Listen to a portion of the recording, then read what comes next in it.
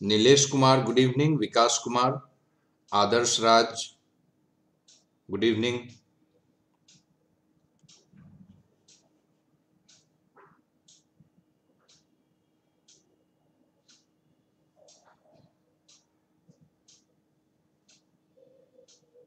Adarsh Raj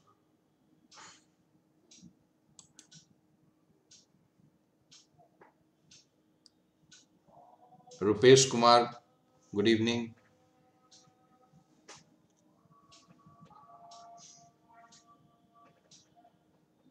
Chhotu Kumar पूछ रहे हैं सर एग्ज़ाम कब से होगा फ़र्स्ट सेमेस्टर का? छोटू कुमार। मार्च अप्रैल मंथ में मान सकते हैं। जी। ज़्यादा उम्मीद है। यानी मार्च का लास्ट और अप्रैल का फ़र्स्ट वीक जी। Pawan Kumar good evening internal exam की जो बात है वो ठीक एक मंथ पहले होती है बीस या पच्चीस दिन पहले होती है जब अनाउंसमेंट हो जाता है या पता चल जाता है कि कब एग्ज़ाम होने वाला है तो उसे ठीक बीस या पच्चीस दिन पहले इंटरनल होती है। जी। आदर्श राज का सेकेंड सेमेस्टर का एग्ज़ाम तो जैसा हम लोग जान रहे हैं आठ फरवरी से शिफ्ट हो गया है। जी। लेकिन फिर भी अभी ये लोग थर्ड सेमेस्टर की पढ़ाई करना चालू कर देंगे आज के बाद से। हम्म। ऑनलाइन मोड में पढ़ाई करेंगे ये लोग। जी। आदर्श राज भी वही सवाल पूछ रहे हैं जो छोटू कुमार ने अभी पूछा है। अभी अभी सर बताए हैं कि आप मार्च मान के चलिए मार्च अप्रैल में। लेकिन पढ़ाई स्लो नहीं होनी चाहिए हम लोगों की। और एग्ज़ाम जब कभी भी हो एग्ज़ाम की तैयारी ठीक उसी तरह से होनी चाहिए जैसे एक सिपाही अपने जीवन का सबसे प्रमुख युद्ध लड़ने के लिए मैदान में जा रहा है। हमारे उपस्थित क्या कहेंगे सर? अभी एक सेकंड सर इंटरप्ट करेंगे हम। जी। जैसा कि इन लोगों को बोला गया कि एग्ज़ाम आठ फरवरी से होगा लेकिन आज से जो है ऑनलाइन मोड में नेक्स्ट सेमेस्टर की पढ़ाई चालू करेंगे। तो ये नेक्स्ट सेमेस्टर की पढ़ाई चालू करेंगे या रिवाइज करेंगे? क्या करेंगे? इनके मन में थोड़ा दुविधा का सवाल है। हाँ क्या करना चाहिए? कैसे रणनीति बनानी चाहिए? सबसे पहली बात तो इनको क्लास अटेंड करके वहाँ पर सब सिस्टम देख लें कि कितने छात्र आ रहे हैं क्या क्लास है अटेंडेंस वगैरह सब चीज़ ठीक ठाक हो। और जो व्हाट्सएप ग्रुप वगैरह है, उस ग्रुप में जुड़ जाएँ। सब कुछ एक सिस्टम में आ जाए, एक आध दो क्लास में, और फिर शिक्षक प्रिंसिपल सर की सहमति से एक डिसीज़न पर सब मिल के पहुँचेंगे, सबकी मर्ज़ी से, और फिर उसके बाद अगला कदम उठाया जाएगा। लेकिन ज़रूरी ये है कि अगर कार्यालय से आदेश आया है तो कम से कम शुरुआती एक दो क्लास ज़रूर अटेंड करें। बहुत बढ़िया। ये जो हमारे पार्टिसिपेंट्स हैं R K visit motivation thanks for confirming sir welcome you are most welcome और अभी यूपीएससी ग्रुप आईएएस ने भी वही पूछा है कि सेकेंड सेम का एग्ज़ाम और कब से हो सकता है? तो वही सवाल आदर्श राज ने भी पूछा। और वही सवाल छोटू कुमार ने भी पूछा आप मान के चलिए मार्च अप्रैल का समय इसके लिए। तो अब हम लोग बातचीत करने जा रहे हैं कि अभी जो अब ये रुपेश कुमार जानना चाहते हैं कि सर थर्ड का न्यू सिलेबस आया ही नहीं है तो कैसे पढ़ाई शुरू होगी? रुपेश जी आपका सवाल बिल्कुल सही। सवाल बिल्कुल एकदम सही है सर। ये थर्ड फोर्थ फिफ्थ सिक्स मतलब जो भी है मोस्टली सेमेस्टर का सिलेबस चेंज होने वाला है। हम्म, इनका भी सही कहना है।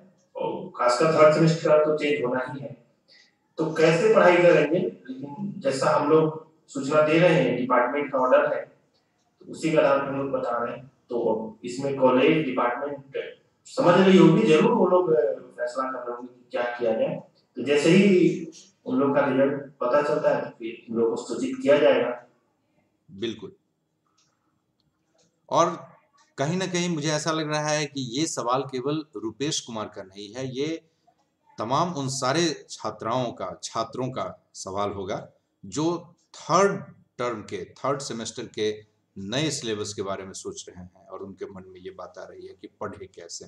खैर, आगे बढ़ते हैं। अश्विनी कुमार ये जानना चाह रहे हैं कि फ़र्स्ट सेमेस्टर का इंटरनल एग्ज़ाम कब से होगा? आप इंटरनल के लिए बिल्कुल चिंतित ना हो। आप अपने क्लास में रेगुलर रहिए, आपके सभी शिक्षक इंटरनल एग्ज़ाम के बारे में अपडेटेड रहेंगे और आपको सारी जानकारी क्लास में ही मिल जाएगी। वैसे मैं आपको विश्वास दिलाऊं, किसी भी तरह का अपडेट आता है प्राचार्य के कार्यालय से तो वो आपके व्हाट्सएप ग्रुप में नोटिस भी आपके साथ शेयर किया जाएगा। अभी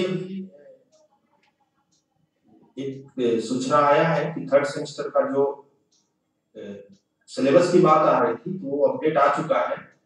अभी तुरंत मैं देख रहा हूँ अपने फ़ोन में। वो सेशन 20 21 के लिए सिलेबस ये का आउट हो चुका है। नया जो पाठ्यक्रम बनना था, बन चुका है। तो अब देख सकते हैं ग्रुप में सर्कुलेट हो जाएगा। यानी कि समझिए कि डिपार्टमेंट इससे रेडी है, अपना सारा कुछ तैयार करके रखा है। तभी वो बोल रहे हैं कि आज से 25 से क्लासेस होंगी। तो अभी तुरंत ये इन्फॉर्मेशन आया है। ये लोग को तुरंत व्हाट्सएप के थ्रू या कहीं से ज़रूर मिल जाएगा इन लोग को। सिलेबस क्या है? हम्म, हम्म। ठीक है। सो so, जिनका सवाल था अभी रोहित कुमार अश्वनी और रुपेश कुमार। आप सबको मैं बता दूँ कि अभी अपडेट आ चुका है जैसा सर ने बताया है और ये अपडेट आप तक आप तक पहुँचा दिया जाएगा निश्चित रूप से। आपको भी कहीं ना कहीं किसी न किसी ग्रुप में मिल ही जाएगा। विजिलेंट रहें अलर्ट रहें नोटिफिकेशन देखते रहें अपने ग्रुप्स का, जो आपके कॉलेज का ग्रुप है, सारी जानकारी मिलेगी। आज की हमारी बातचीत जो इस शाम हो रही है, अभी 25 जनवरी संध्या पाँच बजकर बत्तीस मिनट पर। इस बातचीत का मुख्य उद्देश्य है कि हम परीक्षाओं में किस तरह से लिखें ताकि हमारे मार्क्स हमारा प्रेजेंटेशन हमारा आंसर जो कोई भी आंसर चेक करे वो प्रसन्न हो जाए। शिक्षक का मन प्रसन्न हो जाए चेक करने में कि देखो कितना अच्छा लिखा है। ऐसी कौन कौन सी बेसिक बातें हैं जिस पर हम ध्यान देंगे? तो सबसे पहली बात तो ये है सर मुझे लगता है कि ये आ, अभी मैं जो कुछ भी बताने जा रहा हूँ, ये पूर्ण रूप से व्यक्तिगत अनुभव पर आधारित है। और हम छात्रों से निवेदन करेंगे कि इसे आप आजमाएँ हाँ। कई छात्रों ने आजमाया है, उन्होंने पॉजिटिव फीडबैक दिया है। आज मैं जो कुछ भी बता रहा हूँ आपको, आपने मुझे इस रास्ते पर लाया है, मैं जाना हूँ, मैं तभी आपको बता रहा हूँ। और अगर वो बेहतर काम करता है तो मुझे भी मोटिवेशन मिलता है अगले बैच तक उन बातों को पहुंचाना। तो आप निश्चित रूप से इन बातों पर अमल करें और उसमें अगर आपको लगता है कि इसने, इन इन बातों से कुछ बेनिफिट हुआ है, इन सलाहों, ये जो सलाह आपको मिल रहा है, इससे कुछ बेनिफिट हुआ है तो ज़रूर मुझे बताएँ। चंदन कुमार जानना चाहते हैं फ़र्स्ट सेमेस्टर का एग्ज़ाम कब होगा? Ritu Kumari good evening Hansraj Kumar explain type of thermometer and principle of thermometer देखिए मैं बिज़नेस कम्युनिकेशन इंग्लिश का टीचर हूँ थर्मोमीटर से दूर दूर तक। बस उतना ही मेरा संबंध है जितना कि एक आम आदमी का होता है। एग्रीकल्चर इंजीनियरिंग का न्यू थर्ड सेमेस्टर का सिलेबस आया क्या? यूपीएससी ग्रुप आईएएस ने पूछने की कोशिश की है। बिल्कुल आ गया है, उसका अपडेट आप तक पहुँच जाएगा। आस्था आनंद गुड इवनिंग ये सर, हंसराज सर, ये चाह रहे होंगे कि मैं भी लाइव हूँ तो असल में ये फिजिक्स का क्वेश्चन है तो ये मेरे से जानना चाह रहे हैं बता दीजिए कि थर्मामीटर कितने टाइप के होते हैं और इसके प्रिंसिपल क्या है? तो शॉर्टकट में मैं बता दूँ थर्मामीटर के टाइप्स गैस थर्मामीटर भी होते हैं लिक्विड थर्मामीटर भी होते हैं और रेसिस्टेंस बेस्ड थर्मामीटर भी होते हैं। तो बहुत सारे टाइप होते हैं। जनरली जो हम लोग बुखार नापने के थर्मामीटर यूज़ करते हैं, ये लिक्विड टाइप है। इसमें मरकरी भरा होता है मरकरी लिक्विड फॉर्म में होता है। इसका मेन प्रिंसिपल है कि टेम्परेचर चेंज करने से उस लिक्विड या गैस में कौन सी प्रॉपर्टी है जो चेंज हो रही है। जैसा कि हम लोग जानते हैं टेम्परेचर बढ़ाने से लिक्विड एक्सपेंड होता है। तो थर्मामीटर में वही होता है। पारा है एच जी है मरकरी है। वो जब गर्म होता है तो एक्सपेंड होता है, नतीजा होता है कि वो बढ़ जाता है। उसमें मेजर करके ऐसे स्केल बनाए होते हैं हम लोग। उसको कैलिब्रेट करते हैं इतना बढ़ने से हम बोलेंगे कि इतना टेम्परेचर बढ़ गया इतना बढ़ने से बोलेंगे इतना। तो मेन प्रिंसिपल है कि प्रॉपर्टी ये जाननी होगी कि टेम्परेचर चेंज होने से क्या प्रॉपर्टी में चेंज हो रही है क्या वो एक्सपेंड हो रहा है? क्या करंट ज़्यादा फ्लो करने लगा या करंट रोकने लगा तो उनके प्रॉपर्टी का आधार पे बहुत सारे थर्मोमीटर बनाए जाते हैं। बाकी जब विशेष में इन को क्लासेस पढ़ाएँगे तो वहाँ पे समझाएँगे। ठीक है सर तो चर्चा करते हैं जो एग्ज़ाम हम लोग देखने जा रहे हैं। कम्युनिकेशन स्किल्स इन इंग्लिश इसमें तीन तरह के क्वेश्चन हमारे सामने होता है। एक ऑब्जेक्टिव होता है, एक सब्जेक्टिव इंग्लिश का होता है और सब्जेक्टिव हिंदी का होता है।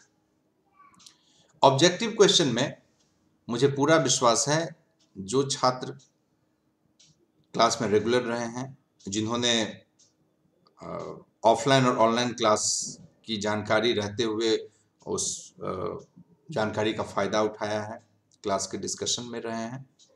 उन सारी बातों पर निश्चित रूप से वो एक नज़र में समझ पाएँगे कि ऑब्जेक्टिव का सही आंसर क्या होगा। लेकिन संभावना यह है कि एक दो परसेंट हो सकता है कि ऑब्जेक्टिव के आंसर लिखने में आपको कंफ्यूजन भी हो कि ये चार ऑप्शन में दो तो बिल्कुल गलत है, ये दो में से जो बचा हुआ है वही सही होगा। मतलब आपको लगेगा कि आप कौन बनेगा करोड़पति के हॉट सीट पर बैठे हुए हैं और ये जैकपॉट सवाल है। और ये सवाल अगर गलत हो गया तो समझिए कि बहुत हानि हो जाएगी। ऐसी फीलिंग होती है एग्ज़ाम हॉल में जब सवाल का आंसर मन में रहता है लेकिन कंफ्यूजन रहता है। उस कंफ्यूजन से दूर आने के लिए अपनी यादाश्त को थोड़ी बहुत टटोलनी चाहिए। जैसे मान लीजिए एक सवाल है कि कम्युनिकेशन जो शब्द है, ये शब्द कौन से रूट से लिया गया है? किस लैंग्वेज का शब्द है ये? हिंदी से है, उर्दू से है, संस्कृत से है या लैटिन से है? तो अगर आप क्लास में रेगुलर रहे होंगे तो निश्चित रूप से आपको याद होगा कि हमने लैटिन के बारे में चर्चा की थी, हिंदी के बारे में नहीं, फ्रेंच के बारे में नहीं हाँ? रोहित कुमार का कहना बिल्कुल सही है, ये लैटिन का आंसर है। Very nice nice. इसी से रिलेटेड और भी कुछ कुछ सवाल हो सकते हैं ऑब्जेक्टिव में। जैसे सवाल ये हो सकता है, जो जो खाने योग्य हाँ जो पीने योग्य वस्तु ना हो, ऐसी वस्तु जो पीने योग्य न हो, उसको आप क्या कहेंगे? जिसको आप पी ना सकें, वो खराब हो गया। तो इसके बारे में चर्चा चली थी। हिंदी का ऑब्जेक्टिव हो सकता है कि जो यो जो पीने योग्य न हो रोहित कुमार नंदन कुमार बीरान कुमार बीरान आस्था आनंद ने बिल्कुल सही दिया है। जवाब कम्युनिकेशन वर्ड लैटिन रूट से लिया गया है। लेकिन हिंदी का एक ऑब्जेक्टिव आपके सामने अगर आ जाए कि जो पीने योग्य न हो उसमें अपेय कहते हैं। अप्रिफिक्स हाँ, जो है वो नेगेटिव है उसको ध्यान में रखना है। साथ ही साथ इंग्लिश में प्रपोजिशंस बहुत जनरली पूछे जाते हैं। जैसे he agrees with me and he agrees to my point तो अग्री वर्ड के बाद, अगर कोई पर्सन होता है तो विथ का इस्तेमाल करते हैं। अग्री वर्ड के बाद, अगर कोई वस्तु है, कोई आइडियाज़ है कोई ओपिनियन है, कोई प्रपोजल है, कोई स्टेटमेंट है तो उसमें टू का इस्तेमाल करते हैं। इस तरह के क्वेश्चंस अगर आपके सामने आते हैं तो केवल आप क्लासरूम को हल्का फल्का याद कर लीजिएगा, उसी से आपको मदद मिल जाएगी कि निश्चित रूप से यही आंसर होगा और आप कॉन्फिडेंस के साथ उसमें टिक लगाएँगे और सही आंसर अपने आंसर स्क्रिप्ट में लिखेंगे। ऑब्जेक्टिव क्वेश्चन के बाद जो दूसरी बात आती है वह है सब्जेक्टिव सब्जेक्टिव में क्या लिखें? तो सर मैंने देखा है जो अच्छे छात्र होते हैं क्लासरूम में। तीन चार प्रमुख बातें हैं जो मैं निश्चित रूप से बोलता हूँ और बार बार बोलता हूँ छात्रों के बीच में कि एग्ज़ाम का जो समय रहता है, उस बीच में छात्र बहुत कंसस हो जाते हैं पढ़ाई के प्रति। और जिसके कारण वो अपनी पढ़ाई लिखाई या दैनिक जीवन के रूटीन में ज़बरदस्त परिवर्तन लाते हैं। जो 12-13 घंटा सोने वाला छात्र रहता है, वो तीन घंटा, चार घंटा सोने की शुरुआत करता है। जो पीजी में छात्रा रहती है, वो खाना कभी कभी भूल जाती है। पढ़ाई में सक्सेस का सबसे बड़ा फॉर्मूला ये है कि अपने रूटीन को नॉर्मल और न्यूट्रल रखें। सामान्य जीवन से, सामान्य स्पीड से आप चलते रहिए। ये बहुत भी महत्वपूर्ण है। दूसरी सबसे बड़ी बात ब्राइट स्टूडेंट जो होते हैं, वो भी लिखते हुए, जल्दी में प्रेशर में जब लिखते हैं तो ढेर सारी ओवर राइटिंग करते हैं। सर, मैं आपको बताऊँ, कुलशेखर सर।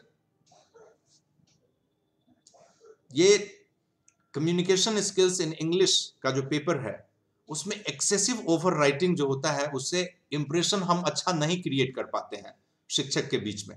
अगर हमारी राइटिंग में बहुत ज़्यादा ओवर राइटिंग है तो। उसका इंप्रेशन बहुत पॉजिटिव क्रिएट नहीं हो पाता है।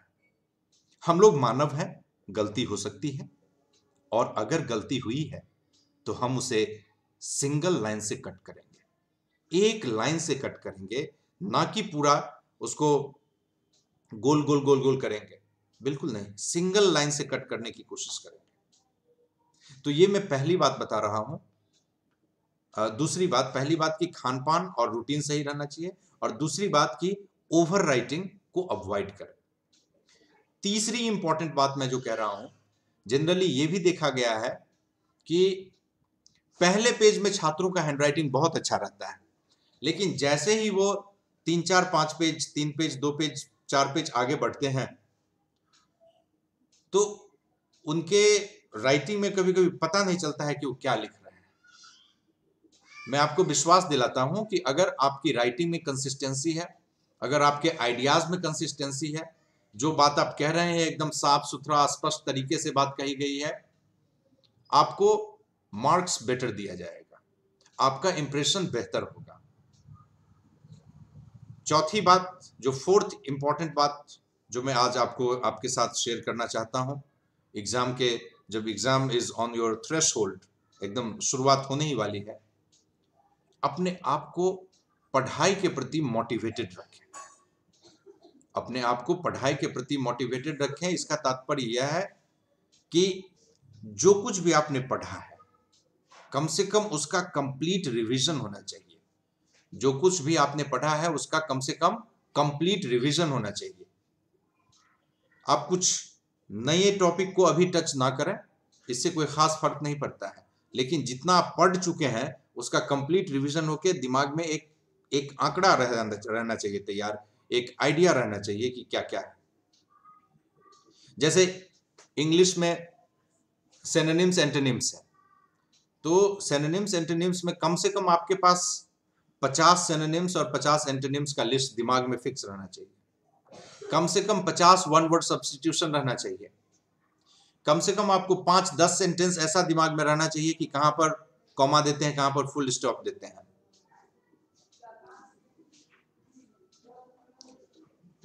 इन सब छोटी छोटी बातों को अगर आप ध्यान में रखेंगे तो आपको लगेगा कि कॉन्फिडेंस का जो लेवल है, वो दिन प्रतिदिन बढ़ रहा है। साथ ही साथ मैं ये भी कहूँगा कि छोटी बातों पर ध्यान देने से बड़ी सफलता बड़ी आसानी से मिलती है।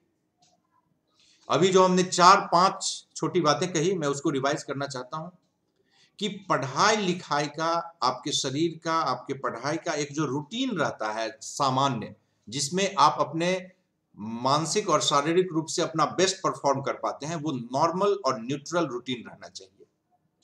दूसरी बात जो हमने कही कि अगर आपसे ओवर राइटिंग होता है, अगर आपसे आंसर स्क्रिप्ट में एग्जामिनेशन हॉल में ओवर राइटिंग होता है तो उसको बहुत ज़्यादा घेरना नहीं है, उसको सिंगल लाइन से कट करना है।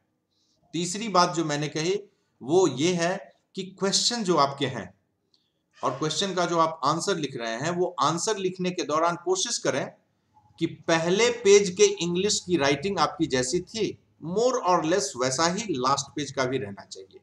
कभी कभी सर ऐसा भी देखने को मिला है कि फ़र्स्ट पेज में बहुत अच्छी हैंड राइटिंग और लास्ट पेज में छात्र क्या लिखते हैं वो पता नहीं चलता है।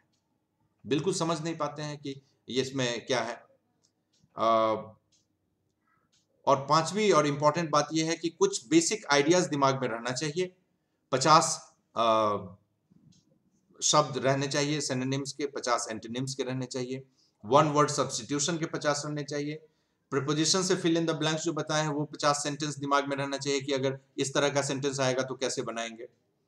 कम से कम 40-50 एग्ज़ाम्पल आर्टिकल्स के जो क्लास में डिस्कस किए गए हैं नरेशन के जो क्लास में डिस्कस किए गए हैं सब्जेक्ट वर्ब अग्रीमेंट के जो क्लास में डिस्कस किए गए हैं हम्म तो इन सारे चीज़ों को ध्यान में रखना होगा। और मैं तो बस यही कहूँगा सर आपको मेरी आवाज़ आ रही है? सर बहुत बढ़िया आवाज़ आ रही है। मैं तो बस तो मेरे दोस्त हैं अभी लाइव है मतलब चैट में लिख रहे हैं जो अंकुर सर फिजिक्स हैं। जी। मेरे दोस्त हुआ करते थे मेरे साथ पढ़ाई कर रहे थे। तो हेलो अंकुर जी। मेरी आवाज़ आप सुन पाए होंगे। सर आप कंटिन्यू कीजिए। जी जी जी। बस सर मैं लास्ट में यही कहना चाहूँगा छात्रों को कि मुश्किल नहीं है कुछ भी अगर ठान लीजिए। बस एक बार मेरा कहा, मान लीजिए। ये जो पाँच पाँच पॉइंट जो हमने कहा है, बस इस पे काम कीजिए और फिर देखिए कि किस तरह से आपका रिज़ल्ट आपके सामने चमकता हुआ मार्कशीट मिलेगा।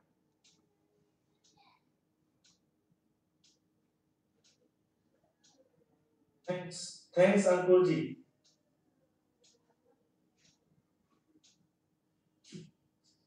sir, बच्चों के कुछ कुछ क्वेश्चंस हैं, उनका क्लियर करते हैं। इनका पूछना है कि हिंदी, इंग्लिश किस भाषा में क्वेश्चंस होते हैं? कभी भी, चूँकि ये लैंग्वेज है, कभी भी जो सवाल आएगा हिंदी का, वो देवनागरी में लिखा होगा और इंग्लिश में जो सवाल आएगा, वो रोमन में लिखा होगा। यानी कि इंग्लिश का सवाल इंग्लिश में और हिंदी का सवाल हिंदी में। हिंदी का जो सवाल होगा, उसका जवाब जो आपके क्लासरूम में मटेरियल शेयर किया गया है, उसमें निहित है और इंग्लिश का जो सवाल होगा, उसका जवाब जो क्लासरूम में डिस्कस किया गया है या जो किया जा रहा है, उसमें निहित है।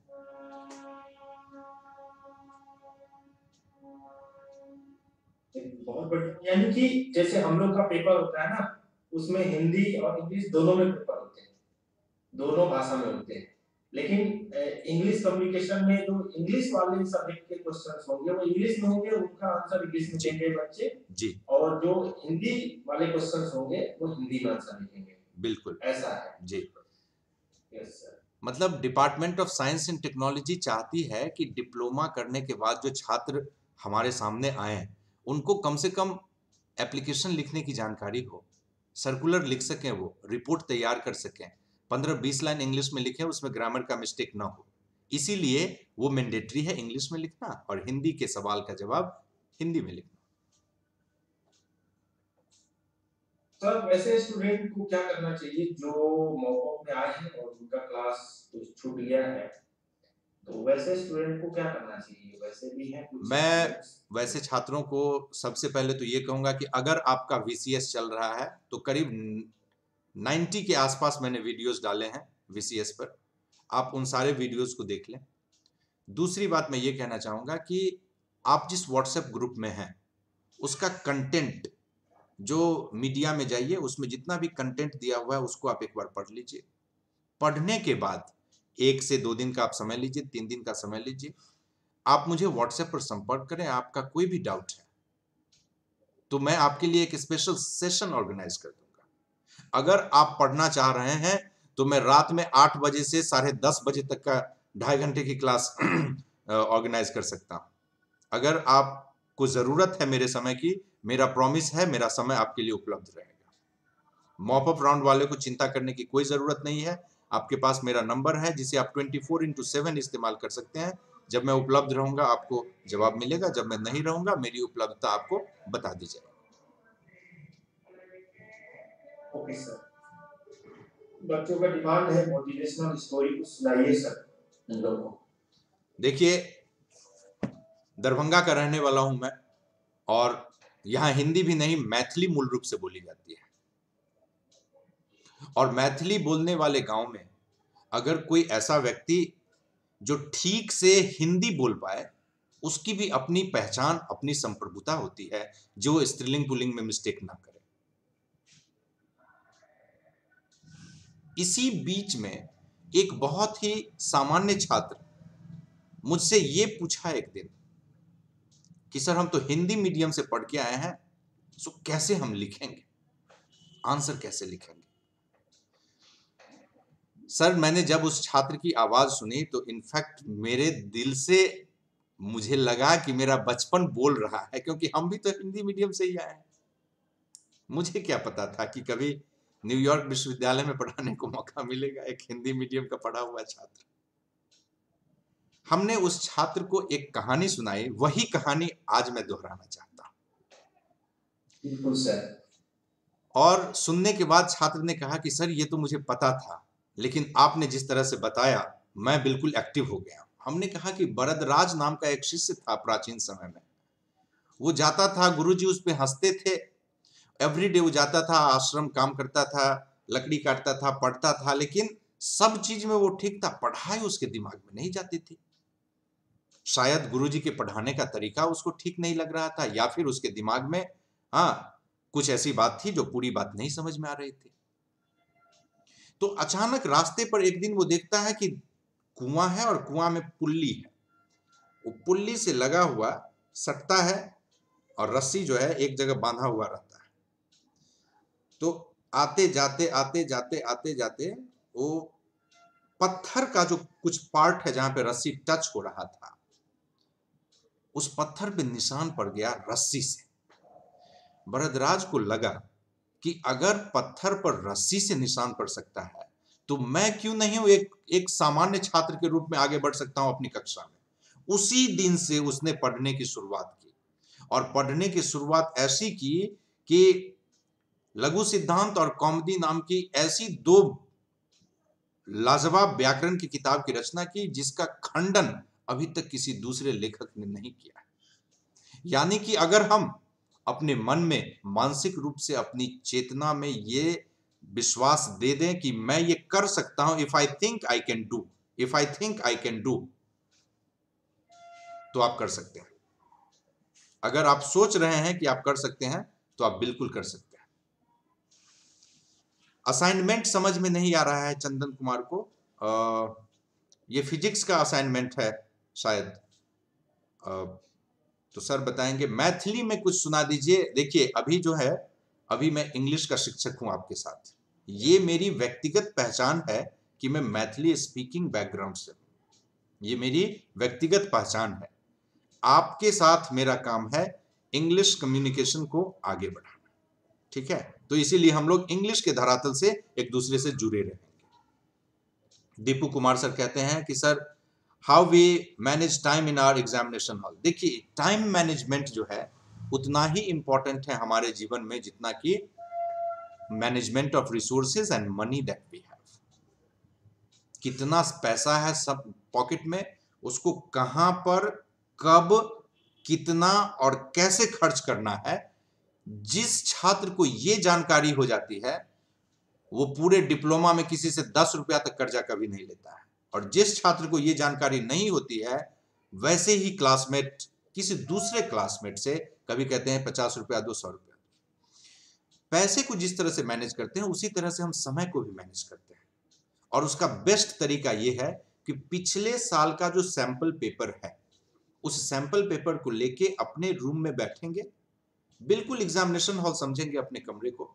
दो घंटे तक कोई मोबाइल नहीं, कोई वॉशरूम नहीं, पानी उनी कुछ नहीं, और उसको लिखने की कोशिश करेंगे आंसर आप सबको मैं इजाज़त देता हूँ कि आप अपना आंसर लिखिए, और अगर आपको लगे, अगर आपको लगे कि आपका वो आंसर बेस्ट है तो आप मुझे व्हाट्सएप पर फॉरवर्ड भी कीजिए।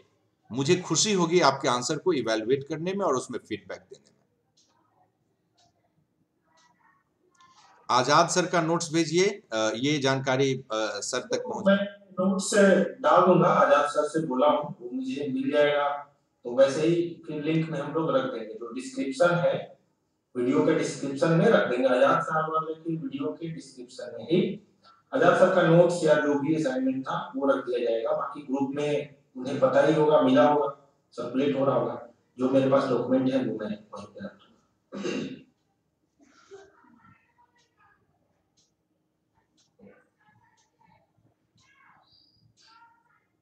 सर जो आप मोटिवेशनल स्टोरी बताए इसे दो पंक्ति में कहा जाता है। अक्सर गाँव में हम लोग सुना करते थे बहुत छोटे हुआ करते थे तो कि करत करत अभ्यास गणपति होत सुजान आवत जात रसरी से पर पत्थर के सीधे पर हाँ, हाँ, हाँ, ऐसा। पूछा कि इसको मैथिली भाषा में कैसे आप लोग कहते हैं?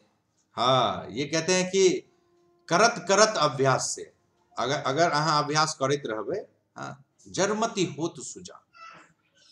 कोनो काज अहाँके विलम्ब नहीं हैत और रसरी आवत जात ते शिल पर परत निशान। मतलब अगर पत्थर पर बार बार रस्सी अबैत रहते जाइत रहते तो अहाँके ओतऽ निशान पड़त ओकर चिन्ह छूटे छै ओतऽ हम लोग चापाकल तो हुआ नहीं करता था। रस्सी से ही पानी खींचा करते थे तो वहाँ पत्थर भी हुआ करता था जी, जी। निशान पड़ जाता जी बिल्कुल। सोच के देखिए कि रस्सी कितना मुलायम होता है और पत्थर कितना हार्ड है। फिर भी मुलायम चीज़ जो है इतना हार्ड चीज़ पे निशान बना सकता है तो हम लोग को तो बस पढ़ाई ही करना है। बिल्कुल तो, बिल्कुल सर। कुछ भी संभव है जब रस्सी निशान बना सकता है पत्थर पे तो बाकी तो कुछ भी संभव है। राइट सर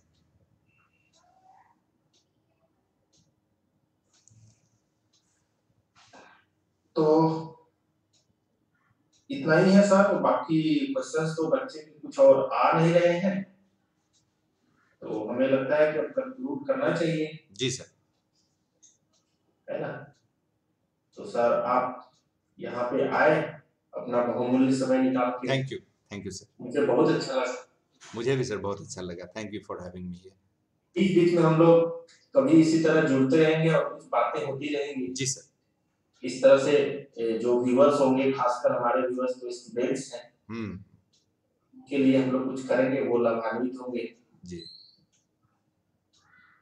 और सर थोड़ा सा कम्युनिकेशन और ये बोलचाल में थोड़ा मैं थोड़ा ठीक ठाक नहीं हूँ तो हम भी सीखने की कोशिश करते हैं आपसे। क्या बात कर रहे हैं। हमारे छात्र बहुत अच्छे हैं मोटिवेटेड हैं बस उनको यही ध्यान में रखना है कि बस एक बार मेरा कहा मान लीजिए। मुश्किल नहीं है कुछ भी अगर ठान लीजिए। मुश्किल नहीं है कुछ भी अगर ठान लीजिए। चलिए सर इसी बात के साथ हम लोग आज के सेशन को समाप्त करते हैं। थैंक यू सर और आपके पास है इसको बंद करने का उपाय। आप ओबीएस में जाइए और स्टॉप कर दीजिए। वो बंद हो जाएगा। ठीक है सर। Thank you